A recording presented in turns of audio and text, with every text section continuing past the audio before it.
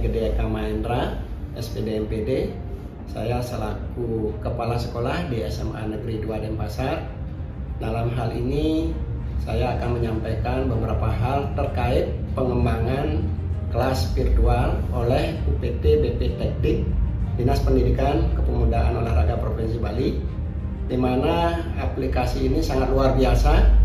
Jadi UPT BP Teknik sudah menyiapkan pembelajaran untuk era milenial sekarang ini. Kelas virtual ini sangat mengakomodasi pembelajaran anak-anak sekarang di mana tidak ada batas dalam belajar oleh ruang dan waktu.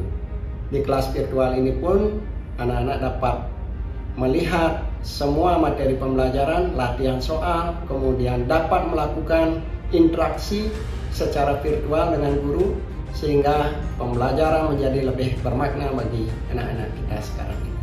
Jadi sekali lagi terima kasih kepada UPT BP Teknik sudah menyiapkan kelas virtual ini. Semoga ke depannya pembelajaran pada anak-anak kita semakin berkualitas.